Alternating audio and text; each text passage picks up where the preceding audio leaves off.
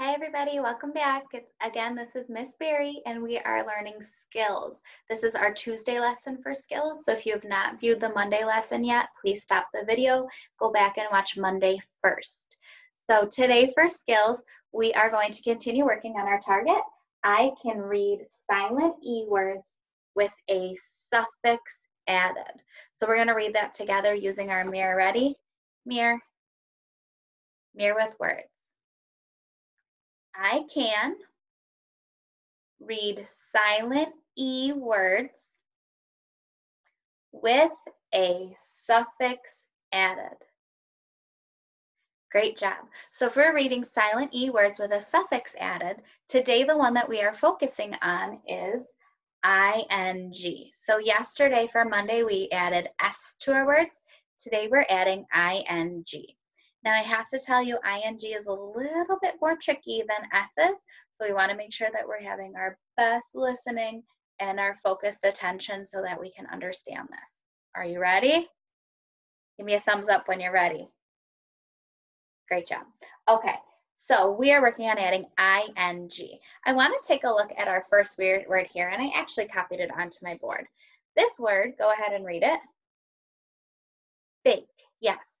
So if I said that I was baking with my mom, I need to change the word bake to baking. So we have a really, really tricky rule, and I want to explain this to you.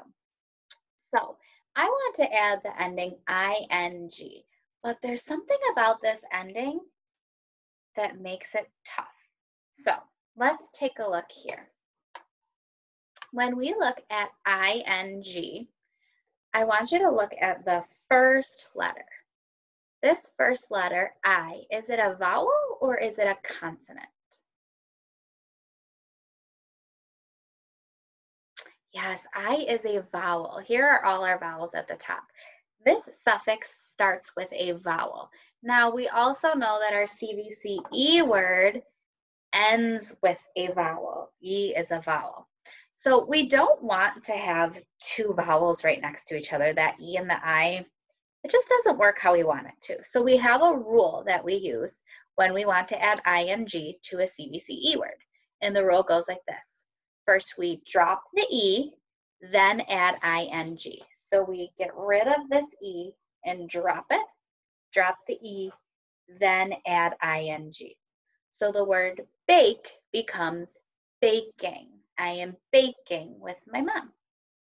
So again, I want you to repeat that rule with me. We're going to drop the E, then add ing. Drop the E, then add ing. Drop the E, then add ing. You try. Great job. Drop the E, then add ing. When you finish with this lesson, there's another video linked in your Google Classroom for you to practice that a little bit more.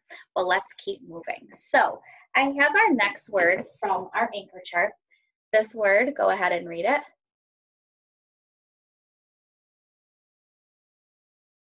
Smile, yes. So we want to change the word smile to smiling. If I'm changing this word, I need to remember my rule that I'm going to drop the E then add ing.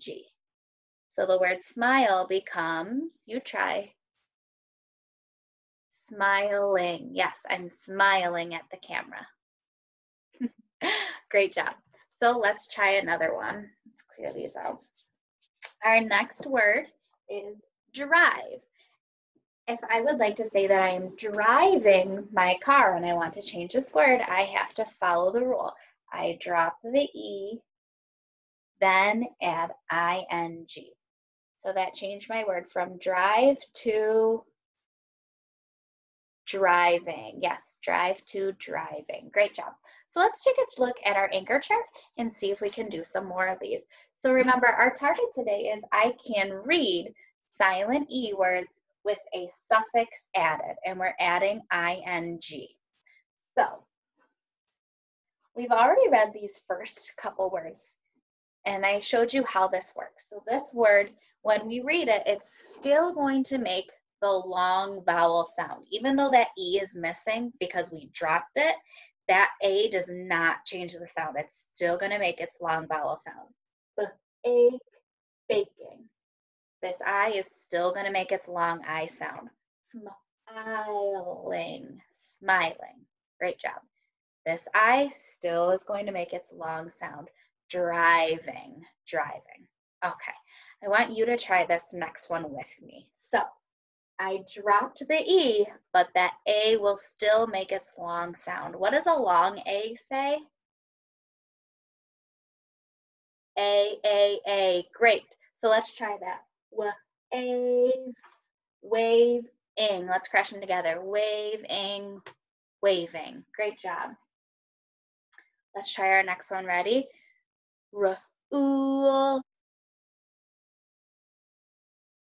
Sorry, friends. Let's try that again. Ready? This word is r-ool, rule, ing. Let's put it together. Rule, ing, ruling. Great job. Hmm. Help me out with this one again. What sound is that O gonna make? Remember, we dropped the E, but this still makes a long sound. So it will say,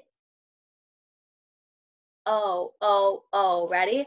H, hope, ing. Let's put it together. Hope, ing, hoping. Great job. Now I want you to try.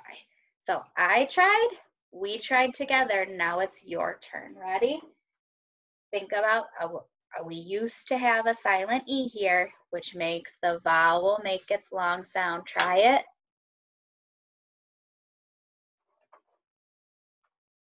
Add the ending. Noting, noting. Great job. Try your next one. Add the ending. Voting, voting. Good job. Another one.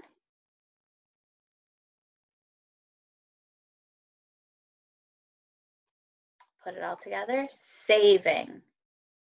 Last one. Put it all together. Riding. Great job. So we worked on adding ing to our silent E words.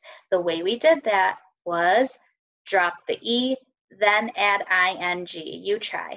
Drop the E, then add ing. Let's say it three times. Drop the E, then add ing. Drop the E, then add ing. Drop the E, then add ing. Great job, my friends. So we're going to continue to practice this all week.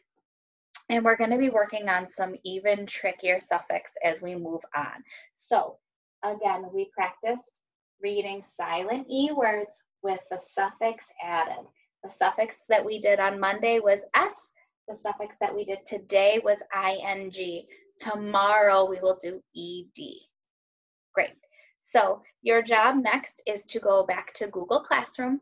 And in Google Classroom, you will be going to the next assignment down.